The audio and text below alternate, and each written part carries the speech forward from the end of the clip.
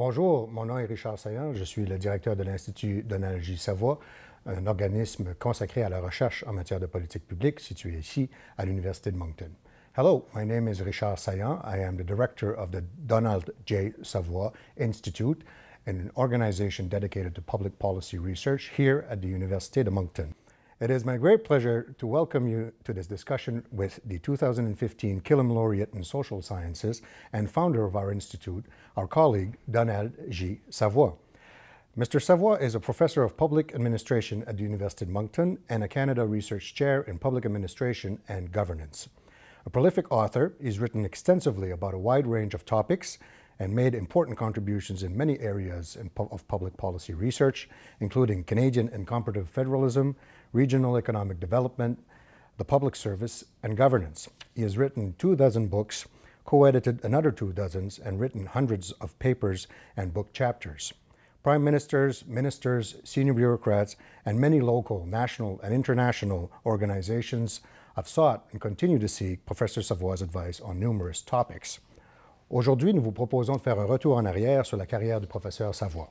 Il s'agit d'une discussion intime en ce sens que nous n'allons pas uniquement nous concentrer sur les contributions académiques du professeur Savoie, mais nous allons aussi tenter de mieux comprendre ce qui a motivé sa démarche intellectuelle, les défis qu'il a rencontrés en cours de route et les leçons qu'il en tire. Professeur Savoie, bonjour. Bonjour, plaisir. Bonjour. Euh, nous nous connaissons depuis déjà deux décennies et puis nous travaillons, nous sommes collègues, voisins de bureau depuis euh, deux années. Donc, euh, j'imagine que ça ne vous offusquera pas si je vous appelle Donald aujourd'hui. Au contraire, avec plaisir. Euh, très bien. Alors, sans plus tarder, j'aimerais euh, commencer la, notre discussion aujourd'hui avec euh, sur le thème de votre, ce que j'appellerais probablement votre métier principal, qui est celui d'être un auteur. Vous êtes d'abord et avant tout un passionné d'écriture. Vous avez écrit des dizaines de milliers de pages durant votre carrière et consacré encore aujourd'hui de longues heures à chaque jour à écrire sur des sujets qui vous passionnent. Quand au juste avez-vous su que vous deviendriez un jour un académique et que vous écririez pour gagner votre vie? Est-ce que c'est quelque chose qui a commencé tôt dans votre vie ou est-ce que c'est euh, l'appétit est venu en mangeant? Ça a commencé très tôt. D'ailleurs, euh, peut-être à 9-10 ans, j'ai réalisé que j'allais, contrairement à bien des Canadiens français, je n'étais pas assez bon au hockey pour faire les Canadiens. Donc, il fallait trouver un autre métier. Puis j'ai toujours euh, aimé lire, j'ai toujours aimé écrire. Puis donc, très jeune, j'habitais en banlieue de Bouctouche, à Saint-Maurice. En banlieue de Bouctouche. J'ai réalisé que c'était ma vocation, c'était mon métier. Euh, puis euh, avec le recul, je vois que j'avais parfaitement raison. Absolument, absolument. Parlez-nous un peu de Saint-Maurice, vos premières années. vous avez habité à Saint-Maurice, qui est, comme vous le dites, un on pourrait appeler ça un hameau assez, un, petit hameau, si ça peut se dire. Donc, euh, une communauté rurale en région de Bouctouche. Vous y avez vécu pendant combien d'années avant de déménager dans la très grande ville de Moncton? Je suis né à Saint-Maurice. Euh, c'est un très beau village, euh, lieu de Bouctouche, qui est un village extraordinaire, un des plus beaux à mon avis. Euh, nous avons déménagé à Moncton, j'avais 13-14 ans. Ma mère était une enseignante, mon père était un entrepreneur, puis ils nous encourageaient, euh, mon frère et mes sœurs, de trouver un métier, de faire quelque chose, de se développer, de poursuivre nos propres intérêts. Puis c'est à ce moment-là que j'ai réalisé, là, même, à Saint-Maurice, je me souviens très bien que j'adorais lire. J'adorais lire Bébé Marie et Jean. J'adorais lire le catechisme. J'adorais... Donc, très tôt, j'ai réalisé que, un, euh, Bouctouche Saint-Maurice très important pour moi. Ça m'a défini, ça me définit, c'est moi. Euh, et puis, très tôt aussi, j'ai réalisé que ça que j'ai voulu faire, c'était écrire.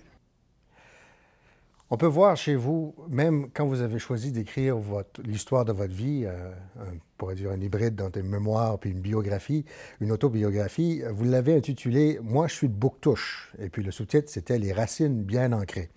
Donc en anglais, ça s'appelait I'm from Bouctouche, mais Roots Matter. Et puis, euh, vous répétez très souvent, à qui veut bien entendre l'expression, je suis de Bouctouche, moi. Alors, qu'est-ce que ça veut dire au juste pour vous d'être de, Bouctouche? Quand vous dites je suis de Bouctouche, moi, qu'est-ce que ça, qu'est-ce qu'on doit entendre par ça? Ça me définit.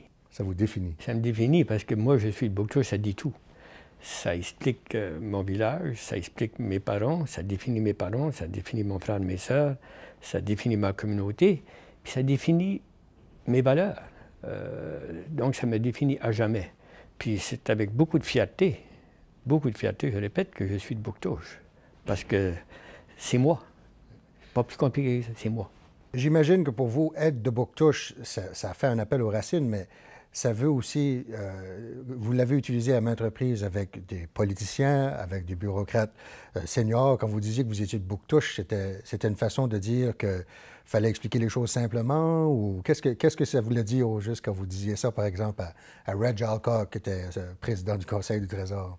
Oui, parce que Reg Alcock était effectivement président du Conseil du Trésor, puis il est venu avec promesses maritimes, puis il a fait un effort pour aller à Bouctouche. Il y a une photo de lui qui Puis souvent, je lui disais, euh, I'm from Bouctouche, me Reg. c'était pour simplifier, parce qu'il partait en nature avec des idées, puis vous aller avec tout ça. Puis je voulais simplifier les choses, puis lui expliquer que si tu ne peux pas expliquer une nouvelle politique à partir de Tim Horton à Bouctouche, tu vas avoir des problèmes. Donc, lorsqu'il avec des nouvelles idées, euh, un peu farfelu à l'occasion, je disais, Reg, I'm from Bouctouche, me, can you explain that? The people at Tim Horton Bouctouche won't understand it. Il est allé à Bouctouche, il est allé au Tim Horton, puis Reg, vous l'avez connu, il était 6 pieds 8, gros, costaud. Il rentre à Bouctouche, puis il y avait une adjointe avec lui, avec une caméra, prendre une photo. Puis elle qui travaillait là, elle était peu inquiète. Elle, était voir le gérant. Il y a quelqu'un ici, là, avec un gros manteau du Canada. Puis il sort, le gérant, il va à Reg Alcock, puis il dit, Can I help you? Reg Alcock dit, You don't know me, but I'm a big man in Ottawa. Le gérant dit, You're a big man in Bouctouche too. puis ils ont pris une photo, puis après ça, il a véhiculé cette, cette, photo-là un peu partout. Mais être, de Bouctouche aussi, c'est un peu faire le contraste entre sortir d'une petite collectivité, sortir, je dirais, d'une époque, puis se retrouver quand même dans la grande ville, à Moncton, dans une, je dirais, un temps où les choses changeaient énormément. Donc, racontez-nous comment c'était la transition de, quitter la sécurité, je dirais, de Saint-Maurice, puis là, de se retrouver à Moncton, puis probablement découvrir tout un monde. Ça a dû être quelque chose à l'époque. Effectivement, c'était. Euh, nous, lorsque, lorsque j'ai quitté euh, Saint-Maurice-Bocteau, j'avais 12-13 ans, j'arrive à Moncton. Avait des anglophones. On n'avait pas d'anglophones à Saint-Maurice-Bouctouche, très peu. Euh, c'était, une grande ville. J'avais une bicyclette. Il y a quelqu'un qui m'a demandé est-ce que je peux emprunter ta bicyclette? Je ne l'ai pas revue pour quelques jours. Ça, à Saint-Maurice, on empruntait des choses, on ne jamais de la porte. C'était très informel. Moncton, c'était, pour moi, à l'époque, c'était une grande ville. C'était immense. Il fallait apprendre à parler anglais, il fallait euh, se défendre, parce que les anglophones dans les rues de Moncton, si tu parles le français, ça m'a réveillé au fond. Il fallait, on n'avait pas le choix. Puis, ça a été aussi l'époque où, je dirais, vous avez pris conscience du monde plus large autour de vous, puis les aspects politiques, j'imagine.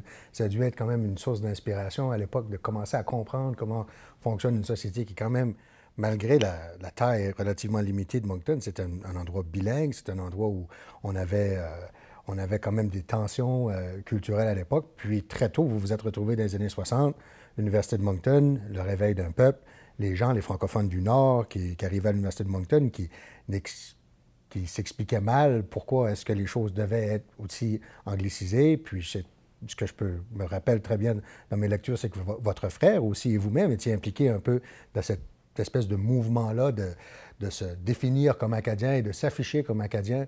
Est-ce que vous pouvez me raconter un peu rapidement quelle était votre expérience d'être Acadien dans les années 60 à Moncton, alors que tout changeait, qu'on avait notre premier premier ministre acadien?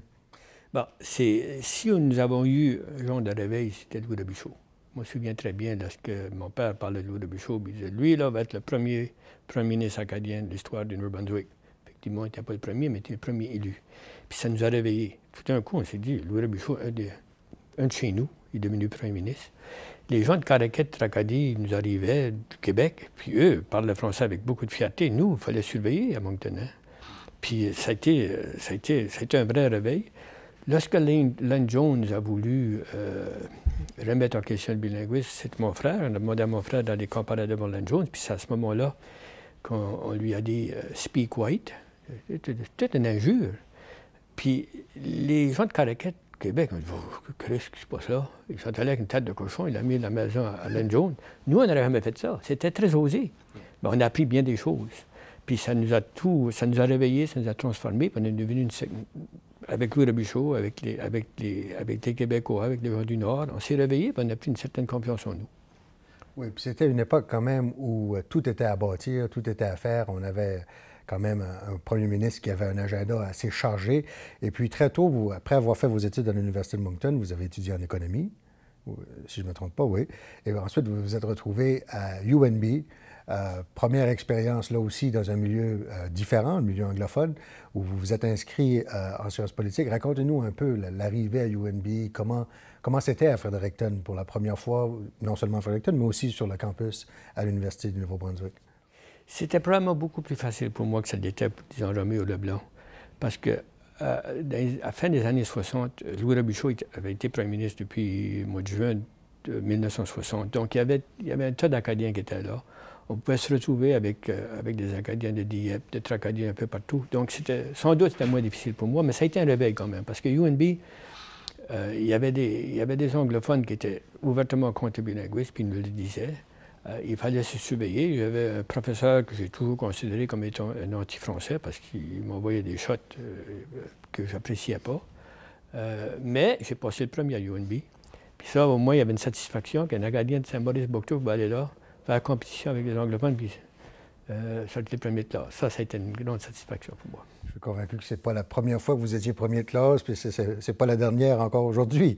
Mais euh, j'aimerais, euh, on a parlé un peu de vos racines, euh, à la fois vos racines à Saint-Maurice, à Moncton, à l'université.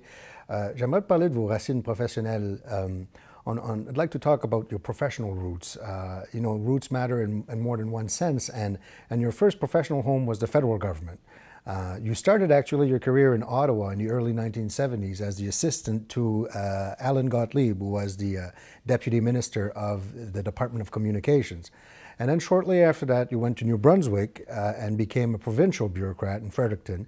And then a few years later, all of this in the space of about five years, you returned to the federal public service in the new department of the, the Department of Regional Economic Expansion, and then back to Moncton. This is where you, you came back after a few years uh, in Ottawa and in Fredericton.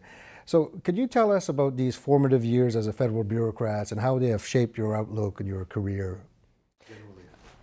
I consider myself to be very fortunate, very lucky. My first job, my first boss was Allan Gotlieb, who was uh, one of the top mandarins in Ottawa, later became ambassador to Washington.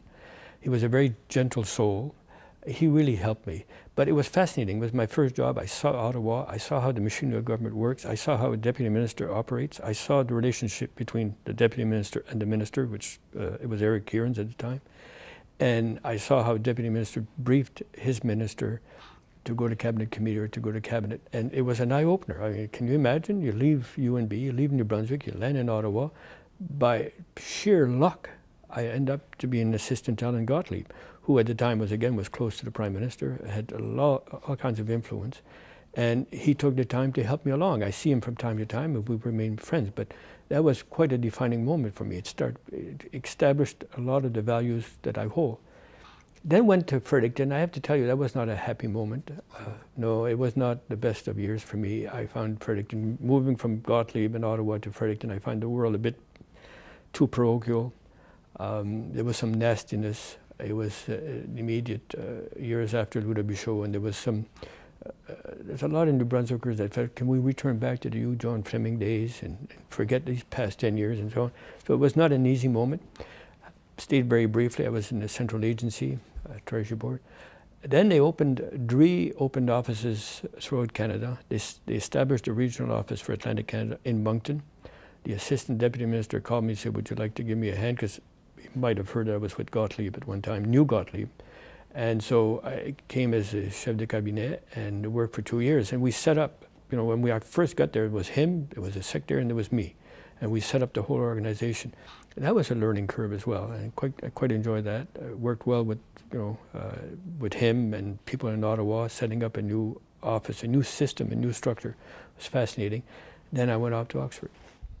Wow, that's quite a quite a, an experience over five years to have done so much uh, in, in, such a short time frame. Um, one of the questions I would have about uh, your your five years in government is that, um, or maybe more of a comment that could lead to a question, is that you actually, you know, you were you were confronted with the four major themes of, of of your professional life as an academic, in the sense that you were straight in, in issues of machinery of government how government works. You were confronted with the public service and the challenges related to the public service. When you were at DREE, you worked quite closely in the area of regional economic development.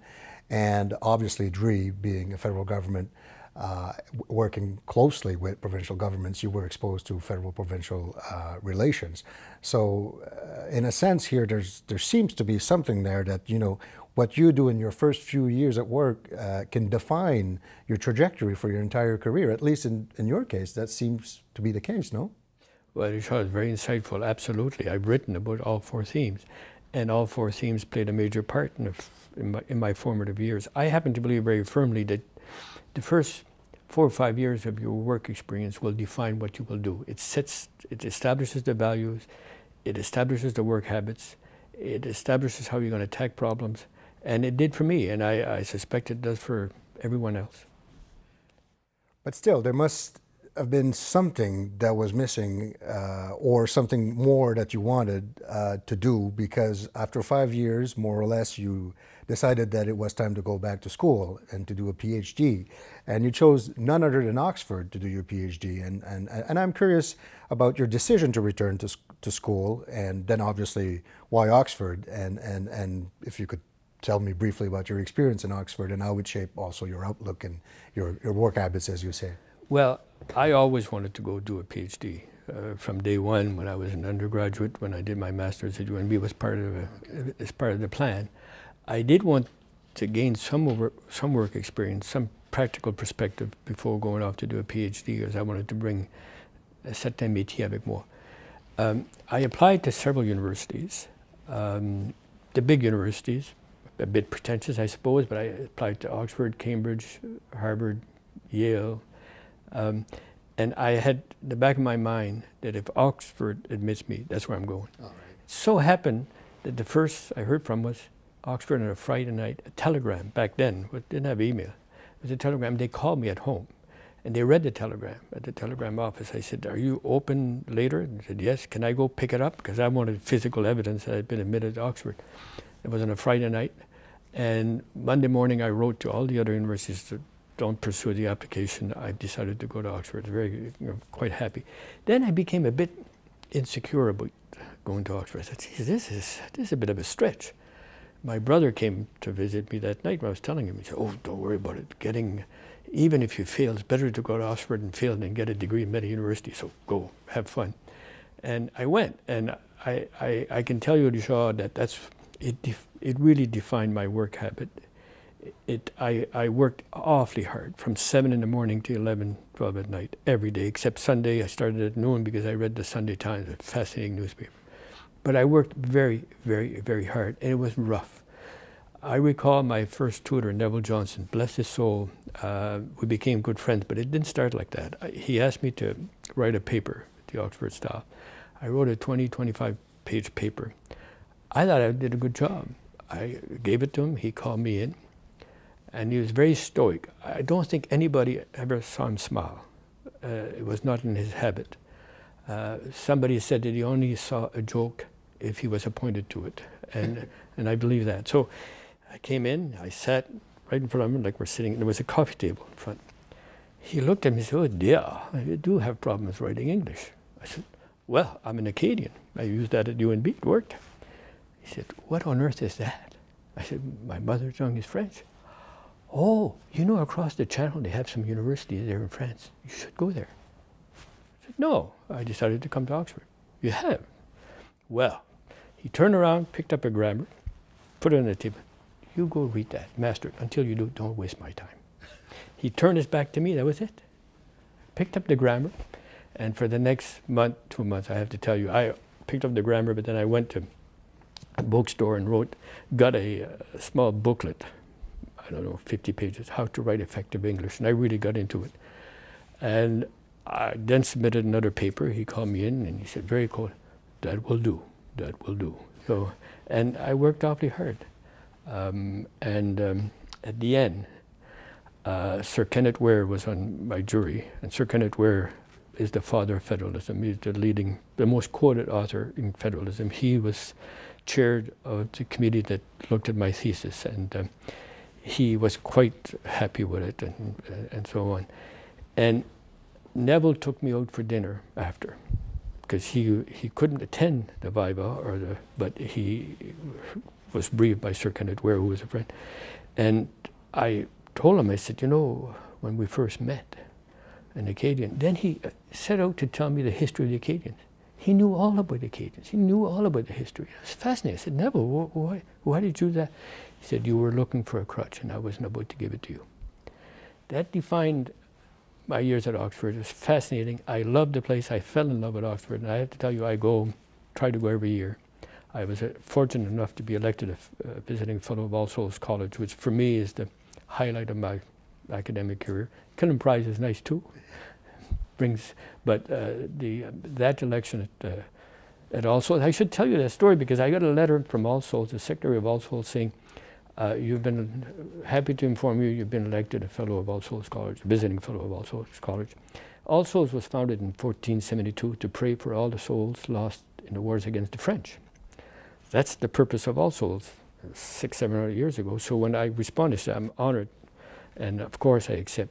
But please bear in mind that I will be praying for the other side. when I got there, the secretary said, we almost had another vote on your appointment.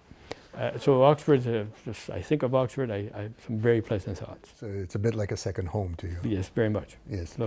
Um, the uh, the experience of being at Oxford, I suppose that at the time uh, you were probably surrounded with people who came from all over the world, and some of whom were probably sons or daughters of very influential and important people, and you were there as probably among the few Acadians who had been to Oxford.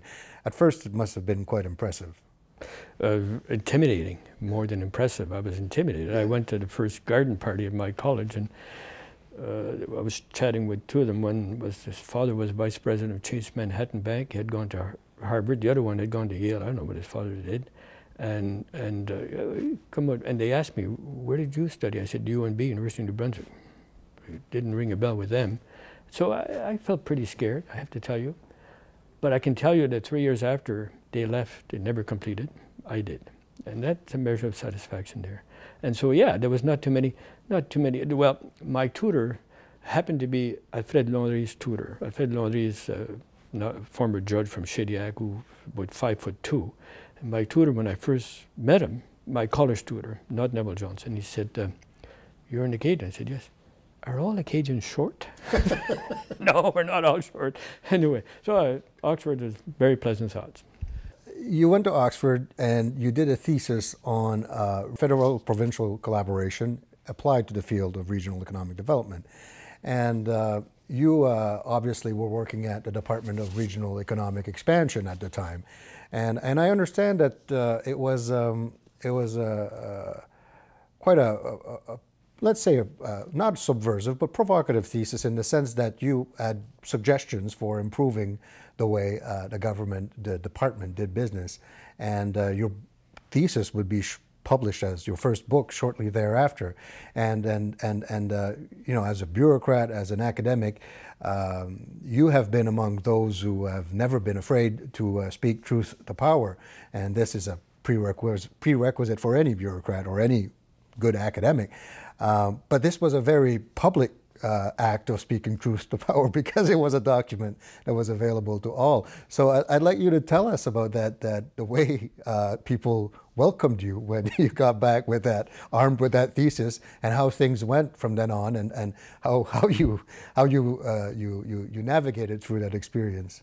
Well, it was not in, it was not easy. I was married. I had uh, I had a son, and and uh, when I got back, I was obviously very proud that Sir Kenneth Wheare had given it full marks. He was quite pleased with the thesis, made it very clear. So when I got, I circulated it around to everybody um, inside the department.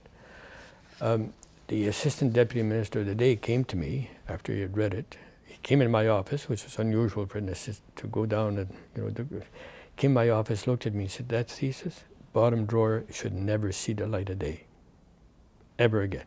But but at the time you were already uh, thinking about publishing that thesis. Yes, uh, well, ab- absolutely. But I said to him, I said, uh, it's a bit late. Uh, should have read it earlier. Because a lot of people inside the department had read it, and the problem was that I was challenging the status quo. I said, what we're now doing is not working. There's something wrong with it. And essentially, that was the whole of the thesis.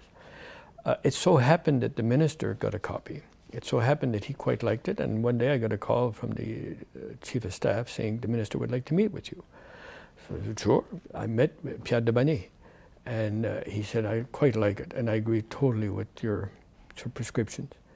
And so I'm going to ask the department if they would like to loan you to me. I knew the Deputy Minister, Bob Montreuil, Robert Montreuil. I quite enjoyed him. We had a good relationship. He said, sure, we'll loan you to Savoie. My, the Assistant Deputy Minister was not quite as happy.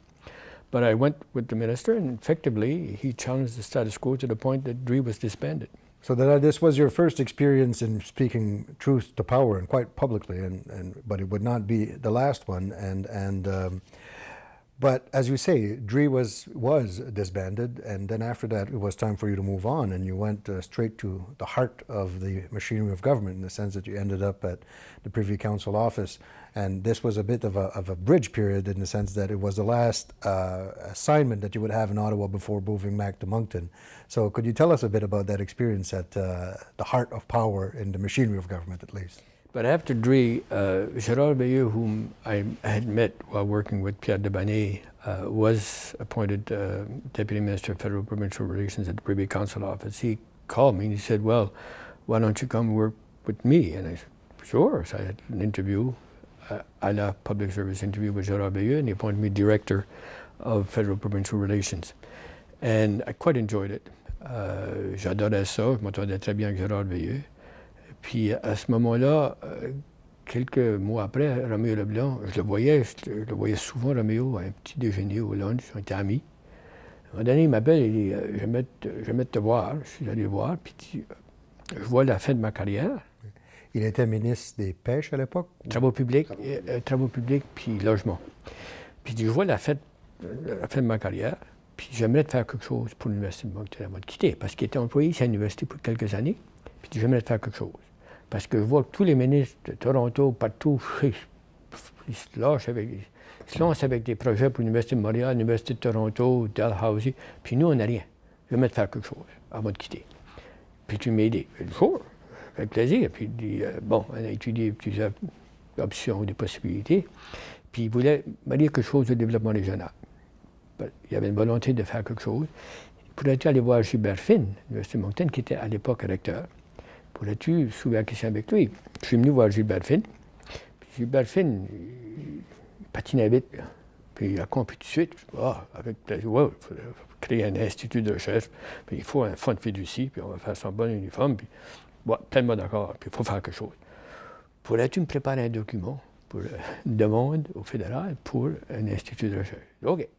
Je le vol, fait ça assez vite. C'était pas trop compliqué, une vingtaine de pages. Puis je l'ai remis à Gilbert, Finn, à M. Finn, puis il lui a communiqué avec Roméo, puis il dit J'ai une demande pour toi. Roméo reçoit le document, il m'appelle un petit déjeuner, tu as vu le document? Oui, je l'ai écrit. Pourrais-tu préparer une réponse? Vous vous êtes répondu vous-même à votre proposition. dit, très beau document, très bien. Beaucoup de mérite. excellent document. Puis Roméo, après la demande, est allé euh, au comité du cabinet de priorité et planification et priorité.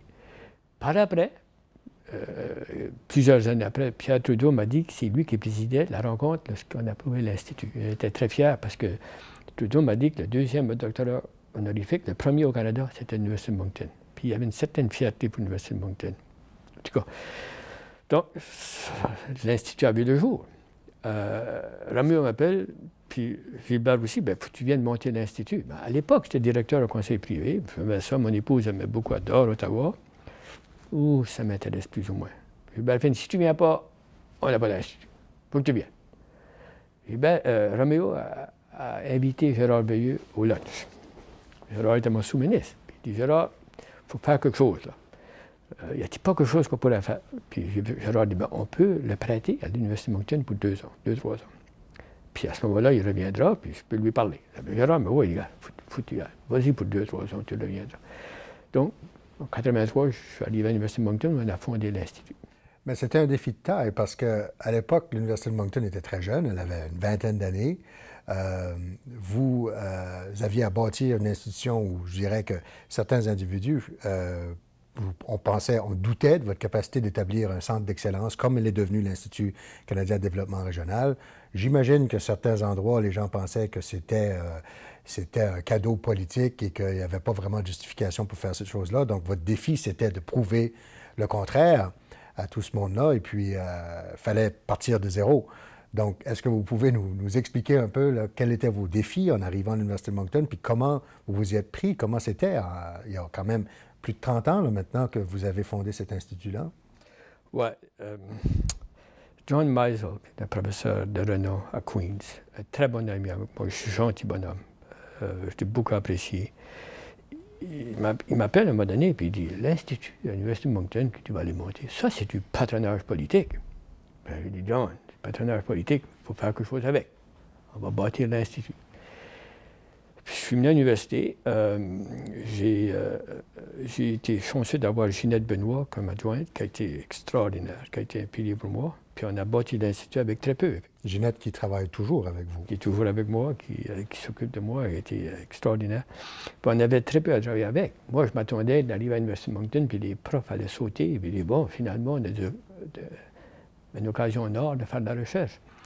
Au fond, ils sont venus nous voir pour qu'on, moi, Ginette et autres, ils peuvent taper leur thèse. Euh, mais ils n'ont pas tellement vu. La recherche, c'était peut-être parce qu'ils étaient au début de l'Université de Moncton peut-être parce qu'il était un peu plus jeune, mais on n'a jamais eu beaucoup de demandes pour des projets de recherche à l'Université de Moncton, qui m'a déçu un peu. Mais on s'est mis à l'œuvre, puis on a publié. pour moi, c'était le test.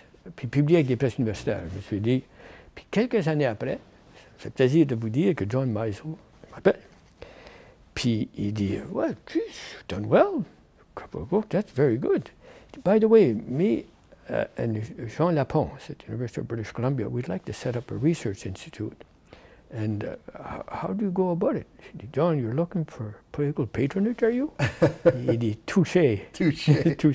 euh, mais c'était des défis. Puis euh, j'avais l'appui de Gilbert Finn, que j'ai beaucoup apprécié. En, passant, j'ai trouvé très fort. J'avais euh, Ginette Benoît, j'ai été recruté. On a bâti quelque chose de bien, à mon avis.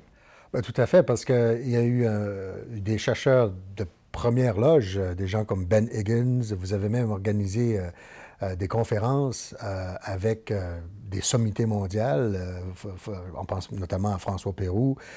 les gens venaient d'un peu partout.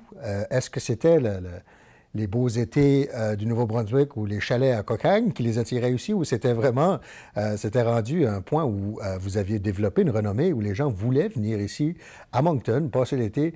C'était des chercheurs quand même, Tom Corshane de, de, Queens, donc c'était quand même une expérience extraordinaire. Puis si on regarde maintenant pour voir tous les livres qui sont sortis de cette époque-là, c'était une, une, époque très productive pour vous. Donc j'imagine que vous travaillez, vous étiez très acharné, vous avez sorti, je ne sais pas, dès le départ, il y a peut-être eu quoi, cinq à six livres dans quelques années qui ont paru au sein de l'Institut? Oui, puis j'ai publié dans des revues arbitrées de renom. Donc ça, ça a beaucoup aidé. Ben Higgins, j'ai communiqué avec parce que je le connaissais de réputation. Il y avait un chercheur de, chercheur de renom qui a étudié avec euh, Schumpeter, en tout cas.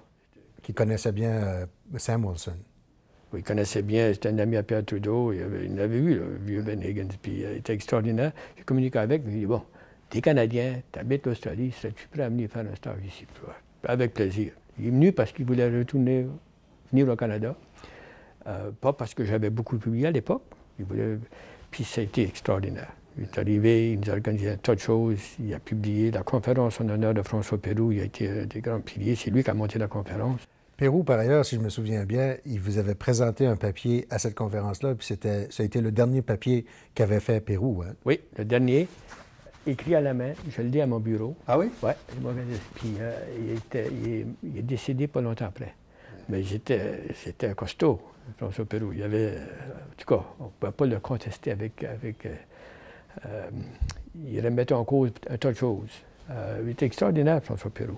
Euh, à l'époque, mais il était assez âgé. Puis euh, effectivement, c'était son dernier papier qu'il qui nous, nous, a remis. Ça a été publié, c'est une collection, mais j'ai l'original avec moi. Oui. Et puis, euh, l'Institut existe, il a changé de nom au fil du temps, il est devenu un institut de recherche en politique et administration publique, et maintenant il porte le nom de son fondateur, qui est vous-même. vous avez, au fil du temps, dans une trentaine, depuis une trentaine d'années, on pourrait le dire, offert un environnement de recherche aux jeunes Acadiens à l'Université de Moncton, pas juste les jeunes Acadiens, aussi d'autres personnes, mais euh, je dirais que ça a été un foyer pour euh, la formation euh, de chercheurs en économique au fil du temps. ça a été une expérience extraordinaire pour bâtir l'atmosphère de recherche en sciences sociales à l'Université de Moncton. Est-ce qu'il y a des choses que si c'était à faire, que vous feriez différemment? Et de quoi êtes-vous plus fier à propos de votre institut? Je pense que je ferais la même chose. Euh, il y a beaucoup de raisons d'être fier de l'Institut. On a bien publié des jeunes Acadiens, des Sébastien Bro, qui est maintenant à McGill, qui a fait un stage avec nous, des Annie Boudreau, des fonctionnaires. Il y a des fonctionnaires au ministère des Finances à Ottawa, au conseil privé, un peu partout, euh, qui ont fait des stages euh, chez nous. Euh, ça, c'est, ça, c'est être fier, donner la chance, l'opportunité aux jeunes Acadiens, aux jeunes Acadiennes de se valoriser. Ça, on a très bien réussi, à mon avis. on a réussi à, avoir Richard Saillon, qui devient le directeur. Ouais, ben, c'est pas évident. puis, donc, on a une certaine réputation, ça, ça s'est développé. On a connu du succès, puis on l'a fait en Acadie. Puis il faut se rappeler qu'en Acadie, à l'époque, moi, je suis de la génération de Louis Robichaud. Puis nous, on a été inspirés par Louis. C'était un bâtisseur. On n'avait rien. On n'avait rien. Puis des jeunes Acadiens comme vous, M. Sayon, euh, c'était une époque où on, commence à zéro. Puis euh, Louis Robichaud nous a inspirés. Puis il fallait bâtir l'Université de Moncton. C'est lui qui l'a créé avec Clément Cormier. Il fallait bâtir des instituts, il fallait bâtir des institutions. Tout était à construire. Oui, puis nous, on était ancrés. Lorsque je dis, moi, je suis de Bouctouche, une génération de bâtisseurs, ça définit par sa communauté. Ouais. Puis euh, c'est là. On, était là lorsque Louis Robichaud nous a inspirés. Il dit, allez, je vous donne les outils, faites quelque chose avec. On l'a fait. Puis, puis l'idée de bâtir, pour toi, Donald, c'était, euh, c'était dans le monde universitaire maintenant, mais ça n'a jamais été uniquement dans le monde universitaire. Euh, très rapidement, les politiciens, les premiers ministres euh, étaient intéressés quand même aux, thèses que tu avançais en matière de développement régional. Et tu as eu une occasion en or, si je me souviens bien, en 1986 ou 87, de travailler à produire le rapport qui a fondé l'Agence de promotion économique du Canada Atlantique, qui existe toujours, qui est probablement l'un des ministères qui a eu la plus longue vie, du moins en matière de développement régional. Est-ce que vous pouvez nous raconter rapidement cette expérience-là, parce que ça a été quand même quelque chose de très formateur très tôt depuis, à votre arrivée à Moncton? Oui. Euh, à la fin du mois d'août, 86, Richard Hadfield, qui était le premier ministre, m'appelle, il me dit Bon, peux-tu passer à Fredericton, je vais te voir. OK, je vais à Fredericton. Il me dit euh, Tu as publié un livre en développement régional. J'étais à Toronto, le ministre de l'Industrie en Ontario m'a dit que je devais lire ton livre. C'était inquiétant lorsqu'un ministre de l'Ontario me suggère de lire un livre sur le développement régional. Qu'est-ce que tu as raconté de ce livre-là? Je lui ai dit euh, Ça m'a dit Ça va pas bien avec le milieu dry. Dry. Non, ça va pas bien. Pas du tout. Il dit Penses-tu qu'on devrait réformer cette structure-là? J'ai dit Absolument. As-tu décidé Il dit Oui. Pourrais-tu me préparer cinq pages? Avec plaisir. C'est quand tu veux ça? Lundi. OK. Puis euh, on n'avait pas de courriel à l'époque, même pas de fax. Il fallait patiner vite. Puis je lui ai remis le lundi. Euh, le premier ministre Mulroney était de passage à Fredericton le mardi pour aller à Terre-Neuve pour une rencontre de PNP euh, à Terre-Neuve. Puis, c'était une note de préfage pour Headfield de présenter un argument auprès du premier ministre pour euh, refaire le développement régional. Headfield a tout simplement les cinq pages. A dit au premier ministre Lis ça, c'est important, tu vas lire ça. Puis, la semaine après, j'ai un appel de son cabinet. Demandé Pourrais-tu euh, rencontrer le premier ministre venir à Ottawa Pour. Le premier ministre appelle, il monte. Puis il m'a donné un mandat de consulter les gens des provinces atlantiques, consulter les premiers ministres, ses ministres, puis arriver avec un, rapport qui pourrait définir une nouvelle agence euh, pour le développement régional. C'est ça que j'ai fait. C'était, à l'époque, je me souviens, c'était un peu intimidant aussi, hein, donc les premiers ministres, etc. Mais j'ai livré la marchandise, puis la PECA est là, puis à l'occasion, ça a bien fonctionné. Puis, euh, à l'époque, quand même, Mulroney, quand tu faisais une annonce, il ne la faisait pas nécessairement des petites annonces. Il vous avait annoncé un, million de dollars avec, euh, c'était quand même beaucoup de financement. Euh, et puis, c'était une organisation qui, au départ, quand ça a été formé, euh, c'était quand même un concept nouveau. C'était, puis ça suivait largement ce que vous aviez recommandé. Donc, essentiellement, vous avez vu très tôt que les idées peuvent avoir une influence réel sur le concret. Et puis ça, ça a été une expérience frappante. C'était quand même pas la première parce que vous avez produit votre premier livre qui avait mené à des changements importants, mais c'est très tôt on a réalisé le pouvoir. Vous avez sans doute réalisé le pouvoir des idées, puis que de, parfois pour pouvoir avoir une influence, avoir un impact avec les gens, euh, c'est pas parce que vous avez remis votre carte d'affaires au premier ministre, c'est parce que vous aviez des choses à dire. Donc c'est quand même des choses. Moi, je trouve ça c'est marquant. Puis, puis c'est une chose que je remarque chez vous, c'est uh, as an academic, you, you you've never stayed long in the proverbial ivory tower. You've, you've many of your books and papers were inspired either from your work experience or conversations you had with practitioners, bureaucrats, businessmen, and politicians. And uh, I, I, mean, I, I would say, I, I, would venture to say that part of your academic success stems from your extensive networks of contacts in, in Ottawa on which you rely to get a better understanding of how things really work. So, to what extent is this the case? I, I, don't want to venture saying things that are not true. I mean, do, would you say that part of your success in your career was your ability to reach out to all of these influential people? No question. It explains it. And if I have any advice for aspiring young scholars, go. If you're in, if you're in public administration, public policy, economics, political science, go and reach out. Go find out how it really works. If you're going to stay in your office and try to conceive a new approach, it doesn't work. We're not in chemistry, we're not in physics. You have to go and see where the sausages are made to appreciate how they're made. And I recall meeting, in fact, governing from the center, which defined a lot of my career, the idea came from a minister. It didn't come from me, quite frankly came from him. I remember vividly over breakfast in Ottawa, the minister looked at me and said, You academics have it all wrong. Cabinet is not a decision making body, it's a focus group for the Prime Minister. And that to me was a revelation. So I decided, well, I got to pursue this idea. And I did.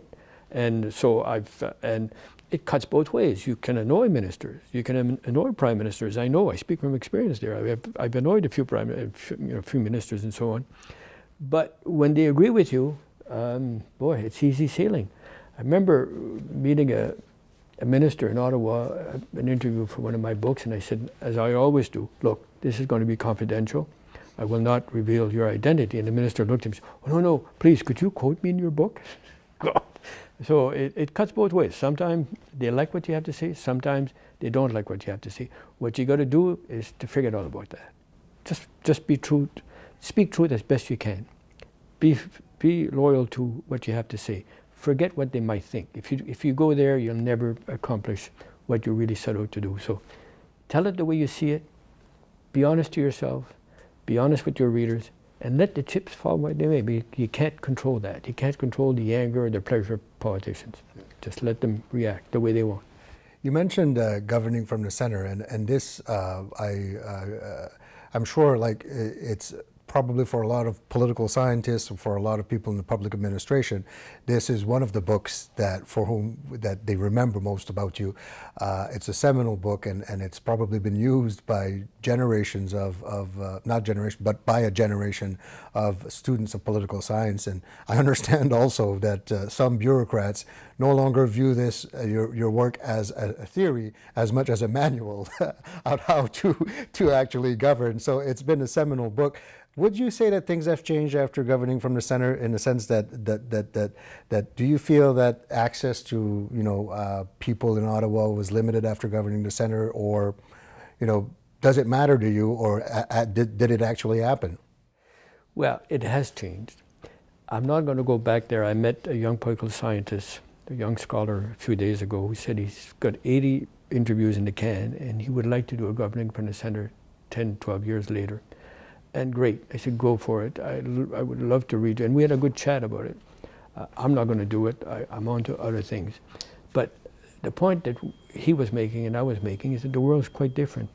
You know, we have emails, we have social, uh, social media, we have a situation where no policy issue belongs to a single department anymore, no matter how you cut it. And so governing from the center is, is much more prevalent now than it was back when I wrote the book. It, it was the start of it, but now it's, it's full blown. And nobody will argue. It's a fait accompli. It's a fait accompli. It is, it is, it is as the, an assistant to uh, Stephen Harper told me, oh, we use it as a manual. That's what, that's what it's become, because that's the nature of the beast that they're dealing with. Yeah. And, and uh, speaking about people in Stephen Harper's office and people in the corridors of power, uh, I'm assuming that, um, you know, inevitably your work was recuperated by some politicians and, not always in ways that, that necessarily reflected the message that you had conveyed. And, and uh, at other times, I'm sure that uh, people took a liking to your views and they would use it, and then you would be seen as a sympathizer of that party, or, or you know, because you said things that they used and they recycled. And uh, I, if I recall properly, even people like Preston Manning that use uh, some of what you were saying, in, for instance, in the politics of public spending. How did you react to that? And and and, and generally speaking. Um, uh, is it something that you cared about? I have to tell you in all sincerity, I couldn't care less what politicians think of my work. It may sound arrogant, it's not. I can't be governed by that. I really can't. I know that Stephen Harper liked governing, governing from the center. I know that. Before he, before he became prime minister, he took a dislike to it after he became prime minister. That's the nature of this, that's the nature of what authors do. I, I write the way I see it, I call it the way I see it, and however they may react, totally irrelevant to me. It really doesn't have any influence. When I hear from them, they agree with me, fine. And when, I don't, when they don't agree with me, usually I don't hear from them, I hear it from other sources. But it's not something that we should care about, really. You're out there to, to, to do a service. Taxpayers support universities. We owe it to them to be as truthful, to be as, as uh, to write with integrity. Yeah. Whatever else, leave it by the wayside. Don't focus on that. So you've always taken very seriously the responsibility of being an academic, which is that you are among the only ones who can speak freely and who have time, who has time to do the research in an area. And uh, whatever, you, essentially, your philosophy has always been, you know, things will fall wherever, wherever they will. It's your job to say things as you see them. Absolutely. And it is not only my job, but I think it's the job of every academic. Tenure is important, and I see many academics uh, stressing its importance, but there's a responsibility that comes to it. You have to produce, you have to speak truth, you have to do the best you can with integrity. That's the nature of our work. And if we can't do that, if we can't respect that, then leave, go become a consultant or go do something else. But don't occupy space where uh, someone should be writing truth. Somebody should be pushing the frontiers of knowledge as best he can. Yeah. And, and I assume also that uh, this is very good advice for aspiring academics and also young academics that, you know, inevitably uh, you'll be called upon to consult with, uh, as an academic, with various governments or various people, various people who, who, who, want to seek your advice on things. But I guess at times some people will just find that they, they, they, they don't draw a clear line between speaking truth to power. It's one thing to provide advice, but it's also another thing to actually make sure that you preserve your independence and all of that. And I guess that's probably a challenge as an academic. But I, from from from your writing, I can see that you never fell into that trap. But it's something that people have to keep in mind all the time. Absolutely, because I got a call once several years ago from a senior official in Treasury Board say we'd like to, we'd like to talk to you about human resources and how it's managed inside the government. It so happened that a week or two later, I wrote an op-ed in the Globe and Mail that was critical, and uh, he had at least had the courage to call me. and Say, "Well, no, we don't want to. We're not going to meet because uh, our views doesn't square with you." Fine, great. I got other things to do. You got it. No problem. See you later. So you just can't let it can't be your compass. interfere with your. If it becomes your compass, leave. Go somewhere else. Yeah, absolutely. Okay. Um, obviously, you've been associated with the Université de Moncton for almost 40 years now. You, you've been back to Moncton in, since 1983, but before that, you were a lecturer. So, so almost 40 years of an association with uh, the University of Moncton. Um, you've been offered to teach elsewhere numerous times, uh, yet you've always chosen to stay here at the University of Moncton. Um, Est-ce que vous pouvez nous parler de votre attachement à votre alma mater et euh, un peu aussi vous parler un peu du rôle, que, à votre sens, que l'université a joué et continue de jouer et devrait jouer dans la société acadienne? Si tu me permets de le dire, Richard, j'ai eu des offres un peu partout. Euh, Duke, euh, Queens, George Mason, Université de Montréal. j'ai jamais, jamais, jamais sérieusement considéré quitter l'Université de Moncton. Pour moi, ça serait ça ne serait pas possible. Pourquoi? Ben, lorsqu'on écrit développement régional, lorsqu'on a été inspiré par Louis Robichaud de bâtir, des, de bâtir des institutions, c'est pour chez nous.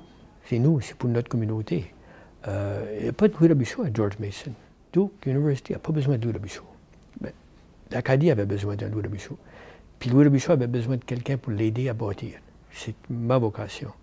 Puis l'Université de Moncton, c'est vrai que j'ai commencé en 72 avec une pleine charge, charge de cours, qui était euh, assez difficile. Mais je considère que j'ai bien servi l'Université de Moncton, mais je peux te dire, Richard, que l'Université de Moncton a été très correcte avec moi. Donc, ça serait un peu ingrat de ma part, après avoir connu un peu de succès à l'Université de Moncton, salaire accompagné, je m'allais avec l'université, un plus salaire, etc., etc. Ça serait ingrat de ma part. Euh, non, je vais rester ici, j'en suis fier, puis je vais rester ici. That's it. Puis ça fait maintenant, il y a deux ans, l'université célébrait son 50e anniversaire. Euh, pour vous, pour toi, Donald, c'est quelque chose quand même tu l'as vu, tu l'as vu naître, l'université, presque à toute fin utile, quelques années après la, création de l'Université de Moncton. Comment trouves-tu que l'université s'est développée au fil du temps et euh, quelles sont, d'après toi, ses perspectives? Quelles devraient être un peu les prochaines étapes, si on veut? J'ai connu tous les recteurs. J'étais ami avec pas mal tous les recteurs. Commencé avec Clément Colmier, que j'ai beaucoup apprécié, que j'ai eu la correspondance avec lui. Je l'ai vu, je l'ai vu d'ailleurs, j'ai passé un bon moment avec lui pendant le temps qu'il meurt. J'ai beaucoup apprécié Clément. Lui aussi, c'était un bâtisseur. Lui aussi, il avait du. Euh, c'était un loup de Buchot universitaire.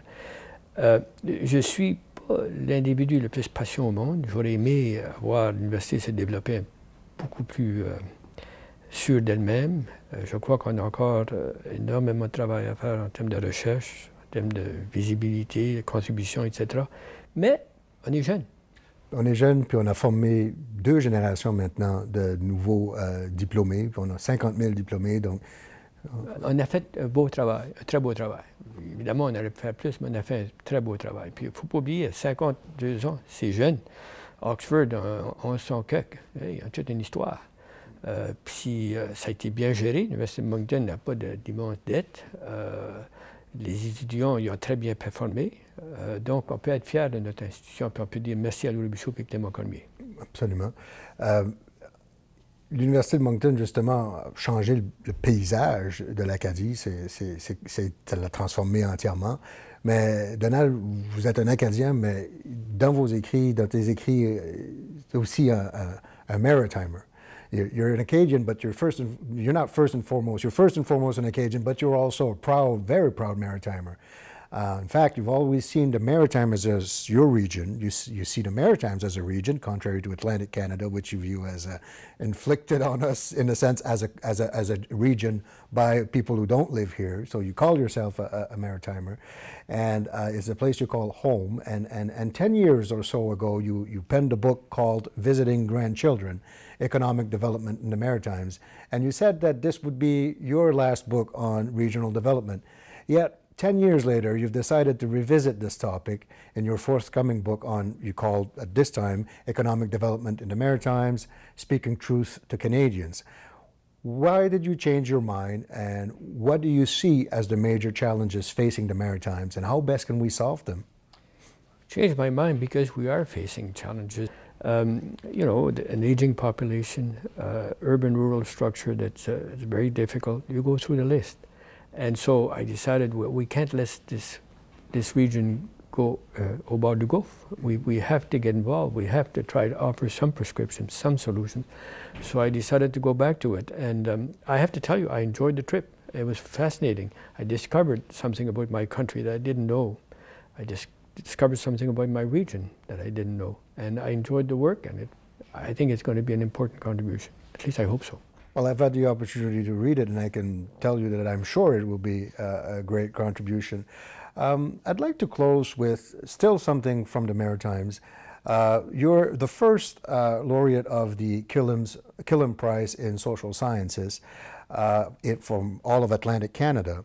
Uh, Izaak Walton, Walter Killam was a Maritimer, a man from uh, Yarmouth, uh, Nova Scotia how special is it for you to be the first recipient of, of, the Atlantic Canada, but also just generally to be the recipient of the Killam Prize? Oh, it was quite an honor. And um, when they called me, I thought they would know. They call, I thought they were asking me to sit on the committee, and I said, "No, I'm out of the country. I, I won't. I won't be able to sit on, uh, on your committee. Maybe some date in the future. No, no, no, we're not calling you to sit in the committee. We're calling you to tell you you won the Killam Prize. And it was, it's been great. Um, it's been great for all kinds of reasons. I mean, it, it shows that University of Moncton can take its place. We're the first in Atlantic Canada, and, and uh, that means a lot to me. It means a lot to my university. Um, the fact that Killam was from Yarmouth, uh, moved to Halifax, did magnificent work, then moved to Montreal, uh, and the fact that Killam set up uh, this, the funding to set up the Canada Council, a maritimer, who then was assisted by another maritimer, Sir James Dunn, uh, that means a lot. Maritimers have, gone, have, done a substantial contribution. Think of all the people that have come out of this region. Um, Lord Beaverbrook, Ron Joyce, if you like, the K.C. Irvings of this world. We've, we've produced some pretty substantial contribution over the years. Killam was one of them. Killam in 1955-56 was the leading business person of his country. And so his legacy lives on and lives on and speaks to the Maritimes. And the Killam Prize speaks to my university. It all means a lot to me. Alors, merci Donald. Ça conclut notre, notre entretien. Euh, encore une fois, félicitations et merci pour toute ta contribution. Merci Richard. Très apprécié. Très gentil de ta part.